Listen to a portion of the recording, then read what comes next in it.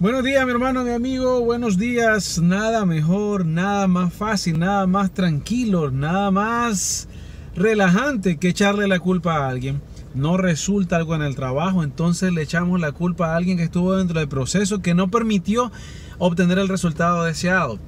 Eh, llegamos tarde al trabajo, los niños fueron tarde a la escuela, fue culpa de alguien más. Un día yo pregunté, entonces dice, es que mi mamá no me despertó. Y entonces dice la mamá, es que ella no se despertó. Y entonces, ¿en qué quedamos? ¿Quién fue primero, el huevo o la gallina? Eh, en las relaciones igual, lo más fácil es echarle la culpa a alguien. Y todo eso nos hace sentir mejor, nos hace sentir como un poquito libre de culpa, nos hace sentir como que que nosotros no fuimos, que no es nuestra responsabilidad, al fin y al cabo lo que hace es a nosotros eximirnos o autoeximirnos de la participación de lo que pudimos hacer o lograr eh, con un plus esfuerzo. ¿verdad? Entonces, es bíblico, es bíblico. Desde las primeras cosas de Adán y Eva, lo primero fue echarle la culpa al otro. Adán le echó la culpa a Eva, Eva le echó la culpa a la serpiente. Y así por, por los siglos de los siglos vamos a vivir, excusándonos, eh, echando la culpa a alguien más de lo que no se pudo lograr, de lo que no pudimos alcanzar, sin decir o, o autoanalizarnos en qué parte fallamos nosotros, cuál fue lo que nosotros pudimos haber hecho, cómo me pude haber, como te dije al inicio, hacer un plus esfuerzo por lograrlo. Eh, hay una, una historia de un señor que, que va de retroceso en su vehículo y choca con un poste y dice, ¿Quién puso ese poste ahí? Pues el poste ya estaba ahí. Él no se fijó cuando retrocedió. Entonces, en los choques, nadie es culpable. Cuando hay un choque vial en la vía, nadie es culpable. Siempre es culpa del otro.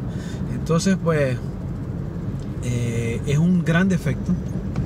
Es un gran defecto. Es un arma de doble filo. Y nos va condenando, pienso yo, a la mediocridad en todos los aspectos. Eh, si no pudiste terminar una carrera, si no pudiste terminar un trabajo, si no pudiste terminar un proyecto, si no pudiste terminar algo que tenías planteado, eh, estás condenado a que el patrón se vuelva a repetir cuando siempre le estás echando la culpa a alguien más.